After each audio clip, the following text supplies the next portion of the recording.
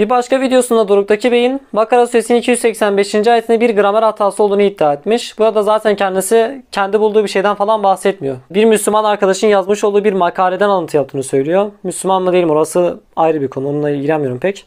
Makale yazan Müslüman arkadaşımız şundan bahsediyor. Kendisi Arapçayı bilmeden önce hemen Resulü duasını sürekli okurken etkileniyormuş. Bayağı beğeniyormuş. Ancak daha sonrasında Arapçayı öğrendikten sonra bu ayette bir takım problemler olduğunu fark etmiş. Bir takım sıkıntılarla karşılaşmış. Kendisinin iddiasına göre. Arkadaşım makalesi uzun. Ben makalenin tamamını okumak yerine doğrudan kendisinin iddialarını kısım kısım ele alacağım burada. Kendisi bu ayetin ilk olarak hatalı olduğunu düşündüğü kısım şu. Ayetin başlangıcı biliyorsunuz. Emener Resulü. Resul iman etti. Bime unzile ileyhi min rabbihi. Rabbinden kendisine indirilen neyse ona iman etti. Hata iddiası olan kısım tam olarak şu. Vel mu'minun ifadesi. Buraya genellikle mealler şu şekilde yazıyorlar. Resul Rabbinden kendisine indirilen şey neyse ona iman etti. Müminler de iman etti.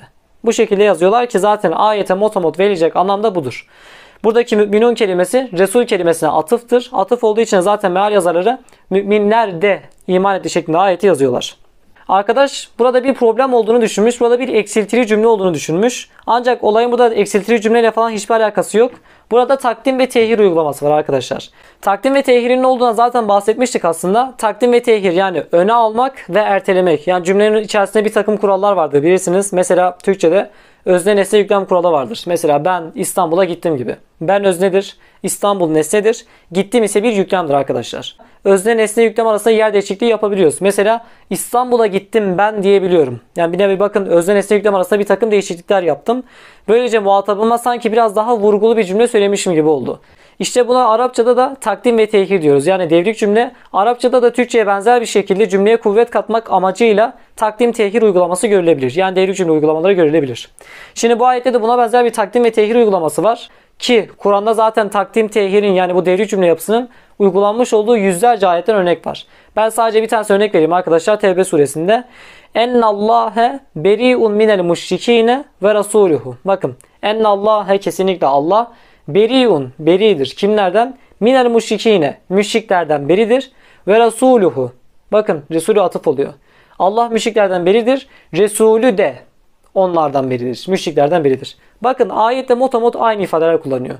Ufak bir hareket farkı var. Orası kafanızı karıştırmasın ama bu bahsetmiş olduğum Tevbe suresindeki örnekle Bakara suresinin 285. ayette bulunan örnek tıpatıp her şeyle aynı.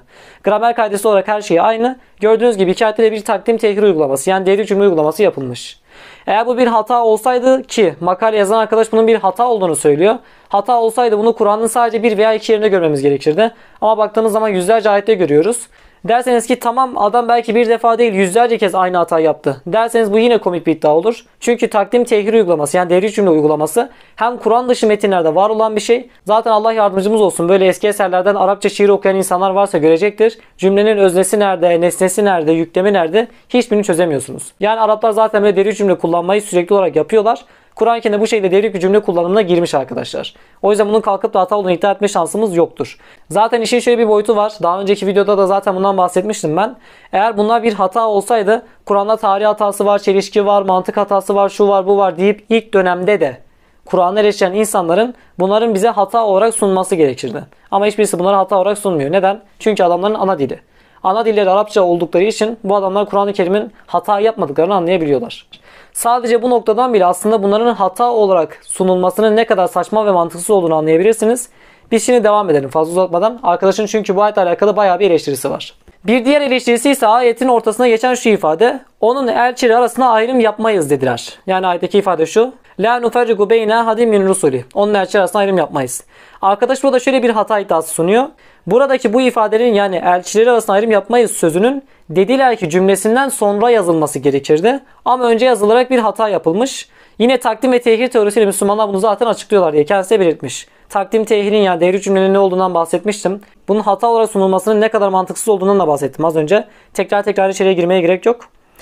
Burada kısaca bir takdim tehir uygulaması var. Yani bir nevi önce cümleden bahsediyor ondan sonra dediler diye Allah cümleyi devam ettiriyor. Hani bu aslında Türkçe'de de var olan bir şeydir. Türkçe örnek veriyorum ki daha iyi anlayın diye. Mesela Ali veya Ahmet şöyle şöyle dedi der. Cümleyi bitir yani dedi der. Dedi ifadesinden sonra söylenilen sözün devamını aktarır. Yani konuşan kişinin ifadesinin devamı aktarılır. Kur'an'da da buna benzer bir devir cümle yapısı görülüyor işte. Arkadaş ama bunun bir hata olduğunu söylemiş. Hata olmadığını zaten belirtmiştik biz. Hata olabilmesi için ne olması gerektiğinden bahsediyorduk. Bunun sadece Kur'an'da var olması gerekirdi. Ki zaten sadece Kur'an'da var olsa ilk başta Araplar eleştirirdi yani. Yani eğer bunlar bir gramer hatası olsaydı ilk başta müşrikler ortaya çıkıp ya bu Muhammed daha ne dediğini bilmiyor. Adam cümlenin öznesiyle yükleme arasında karman çorman bir ifade kullanıyor diyerek eleştiri yapması gerekirdi. Ama tarihi kaynaklara baktığınız zaman ise pek çok kişinin mesela Hazreti Ömer'in Kur'an'ın üslubu sebebiyle iman ettiğine şahit oluyoruz. Yani adam bir hatalı metin yazmışsa çevresindeki bir Arap gelip de bu kitabın vay be çok güzel bir belagatı var deyip iman eder mi sizce? Adam kalkar bu nasıl kitap ya? İçerisinde daha özne nerede, nesne nerede, yüklem nerede? Belirsiz deyip bu kitapla dalga geçerdi. Ama tam tersi bir durum görülüyor. Ama her ne hikmetse bugünün daha Arapçayı bile tam bilmeyen insanlara çıkıp Kur'an'da gramer hatası vardır diyebiliyor. Veya Kur'an'da var olan söz sanatlarına bunlar Kur'an'ı kurtarmak için uydurulmuştur falan diyebiliyor. Biz de yiyoruz zaten. Makalenin devamında arkadaşımız şöyle bir eleştiri yapmış. Farklı bir kıraatte bu ayetin tam olarak kendisini düşünmüş olduğu gibi yazıldığını görmüş. Hani ayetin başında vel mu'minun ifadesi yazıyordu ya. Kendisi diyor ki normalde burada müminun ifadesinin böyle takdim tehil alakasının olmaması gerekiyor. Orada da bir iman ettiler cümlesi olması gerekiyordu falan diye bir eleştiri yapmış kendisi. Farklı bir kıraatte de ayetin o kısmının ve emenel mu'minune şeklinde yazılmış olduğunu görmüş. Tabi ben buraya girmeden önce şunu da belirteyim başlangıçtan. Bu kıraat farklılıkları nelerdir? Farklı kıraat dedik. Farklı Kur'an mı var? Kur'anlar arası tutarsızlık mı var gibisinden bir konu açılıyor şu anda. Ben bunlarla alakalı daha önce bir video yapmıştım. Ama yine bilmeyenler için ben burada kısa bir şekilde olaydan bahsedeyim. Şimdi Kur'an-ı Kerim'in birden fazla kıraati var arkadaşlar. Yani birden fazla okunma versiyonu var. Tabi bu versiyon deyince aklınıza şu gelmesin. Birinin ak dediğine diğeri kara diyor gibisinden bir durum yok. En önemlisi şu. Bu kıraat farklılıklarının hepsi yani bu okuma farklılıklarının hepsi peygamber kaynakları arkadaşlar. Bununla alakalı size tarihi bilgiyi vereceğim. Bu arada biliyorsunuz benim görüşüm gizli ama Kur'an Müslüman arkadaşlar için söyleyeyim. Şimdi benim bahsedeceğim şu anki olay bir hadistir. Ama kalkıp da efendim hadislerin hepsi uydurma niye kullanıyorsun falan demeyin. Çünkü bunlar tarihi bilgidir. Yani sonuçta kalkıp da peygamberin 571-632 yıllar arasında yaşadığını siz zaten Kur'an'dan öğrenmiyorsunuz. Peygamberin annesinin babasının adını Kur'an'dan öğrenmiyorsunuz. Bunlar tarihi bilgilerdir. Benim şu anda anlatacağım hadis de tarihi bilgidir arkadaşlar. O yüzden kalkıp da ben Kur'an Müslümanıyım arkadaş bana başka bir kaynak getir falan demeyin. Çünkü bu çok komik bir itiraz olur. olur. Sebebi ise ben size tarihi bir olaydan bahsediyorum. Peygamberin sağlığında buraya dikkat edin. Hazreti Ömer bir tane adamın Kur'an okurken farklı bir şekilde okuduğuna denk geliyor. Sonra bu adamı tutuyor peygambere getiriyor. Diyor ki ey Allah'ın elçisi bu adam senin getirdiğinden farklı bir Kur'an okudu diyor. Peygamber önce Hazreti Ömer'i dinliyor. Sen aynı ayeti oku diyor aynen dediğin gibi okunmuştur diyor. Sonra öbür adamı dinliyor. Farklı okuyan adamı dinliyor. Onu dinledikten sonra peygamber onun okuyuşuna tasdik ediyor ve diyor ki Kur'an-ı Kerim 7 harf üzerine inmiştir diyor. Yani 7 kıraat.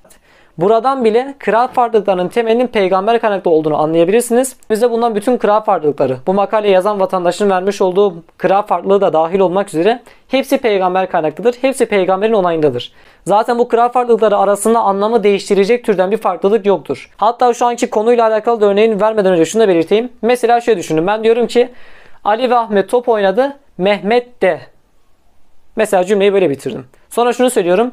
Ali ve Ahmet top oynadı. Mehmet de top oynadı. İki cümle arasında sanki fark var gibi değil mi? Yani birinde fazladan top oynadı diye bir ifade geçiyor. Birinde eksik bir cümle var. Biri fazla diğeri eksik. Ama mesaj olarak ikisi de aynı aslında. İkisi arasında hiçbir fark yok anlam itibariyle. Şimdi burada arkadaşın örnek vermiş olduğu kral farkında ne yazıyordu? Bizim musafımızda vel mu'minun şeklinde yani müminler de şeklinde cümle biterken kendisine örnek vermiş olduğu musafta ise müminler de iman etti diye cümle bitiyordu. Birinde fazladan emene fiili var. Yani iman etti ifadesi var. Peki anlamda değişen bir şey var mı? Değişen bir şey yok. Aynı mesaj veriliyor, aynı anlam veriliyor ve en önemlisi bu iki kıraatin ikisi de peygambere dayalı. İkisi de vahiy olduğu için kalkıp da efendim kıraatler var, Kur'an'da değişiklik var falan gibisinden bir teori ortaya atmak saçma bir şey olur. Çünkü bunlar zaten bin yıldan beri de bilinen şeyler. Bin yıldan beri zaten Müslümanların kabul ettiği, kitaplara geçirdiği ve bildiği bir şey. Neyse fazla uzatmayayım ben bu kıraat konusunu. Zaten daha önce bu konuyla alakalı bir videom var demiştim. O videoya bakın. Ben orada zaten kapsamlı bir şekilde bu konuyu anlatıyorum. Devam edelim. Makalenin devamında bu arkadaş yine kıraat farkından örnek olarak benim bu ayette takılmış olduğum ikinci yerde. Hani ayette şöyle bir ifade vardı ya. Biz onun elçileri arasında ayrım yapmayız cümlesi var ya. O cümlenin dediler ki cümlesinden sonra olması gerekirken önce yazılmış diyordu ya. O kısım diyor tam da benim düşünmüş olduğum gibi nuferrigu değil yani ayrım yapmayız şeklinde yazılmak yerine yuferrigu şeklinde. Yani onlar ayrım yapmazlar şeklinde yazılmıştı diyor. Yani şöyle ikisini bir yan yana getirelim arkadaşlar. Müminler dediler ki onun elçiler arasında ayrım yapmayız. Müminler dediler diyor. Diğerinde ise şöyle söylüyor. Müminler onun elçiler arasında ayrım yapmazlar. Aynı mana. Aynı anlam ifade ediliyor. Değişen hiçbir şey olmuyor. Tabi arkadaşımız burada kıraatler arasındaki farklılıklar var gibisinden bir konuya değinmemiş de makalede şundan bahsetmiş kendisi. Bizim Türkiye'de bulunan bu Zeyd bin Sabit'in Musaf'ında hatalar içeriyor demiş. Hata falan yok. Az önce bahsettik arkadaşlar. Bunların dil kaidesi olduğundan bahsettik. Kendisinin örneğini vermiş olduğu ikinci kıraat daha çok oturaklı gibi geliyormuş kendisine. Ama Zeyd bin Sabit'in yani şu an Türkiye'de bulunan yaygın bilinen bu musafta ise böyle dil hataları var diyor kendisi.